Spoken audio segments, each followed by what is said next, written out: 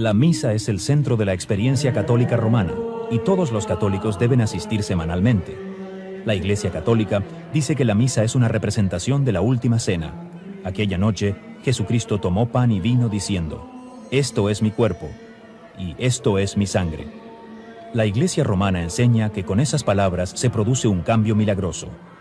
Luego Cristo enseñó a sus discípulos, Esto haced en memoria de mí. La respuesta de la Iglesia romana a ese mandamiento es la misa.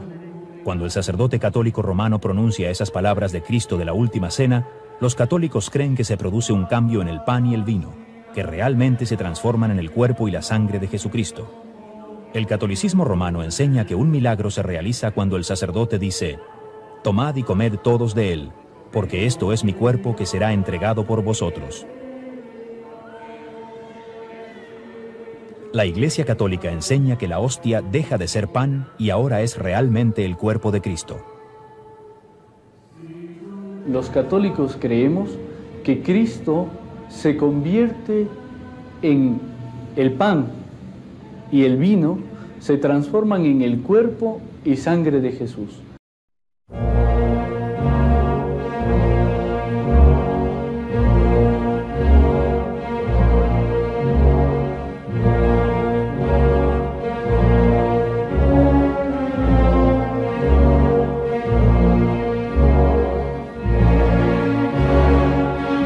Completamente.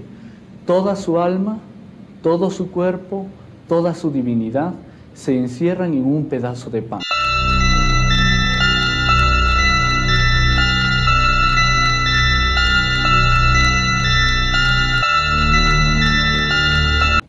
Entonces, sencillamente teníamos que aceptarlo así. O sea, era difícil de, de creer, porque realmente comías y te daban a probar la forma. Y decías, antes de que fuera consagrada, tú te la daban a probar. Sí, es pan realmente, sabe a pan. Pero después de consagrada, cuando tú ibas a recibir la, comunión, bueno, pues sigue sabiendo a pan. Si el pan y el vino son transformados en cuerpo y sangre de Jesús, ¿por qué no cambia su apariencia en la consagración en la misa? Usando una combinación de teología, filosofía y misticismo, la Iglesia ha propuesto una teoría llamada transubstanciación, que dice que la naturaleza interior del pan y del vino cambia mientras su apariencia sigue igual. La transubstantación es el poder que tiene el sacerdote.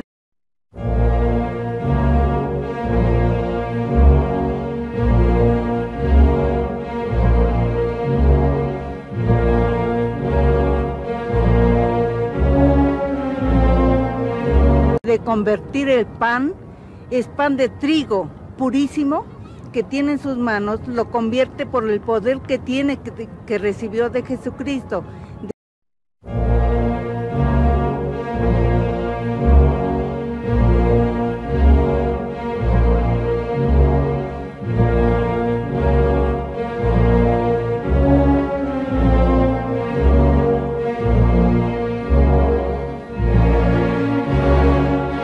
Hacer la hostia en el cuerpo y cuerpo de Cristo y el cáliz que es el vino de uva, hacerlo sangre de nuestro Señor Jesucristo.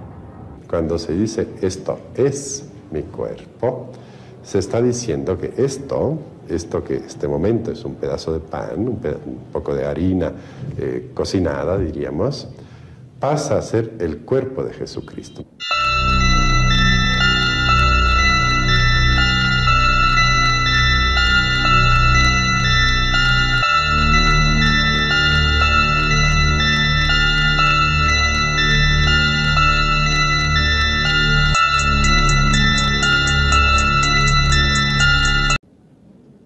Pero siendo que el pan no cambia en su apariencia, ¿no tendría más sentido si comprendiéramos las palabras esto es mi cuerpo como figurado?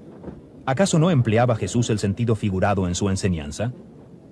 Jesús dijo, yo soy la vid verdadera. Y nadie piensa literalmente que Jesús fuera una vid, sino que es el significado, es un símil, para que nosotros podamos entender mejor lo que Jesús quiere decir.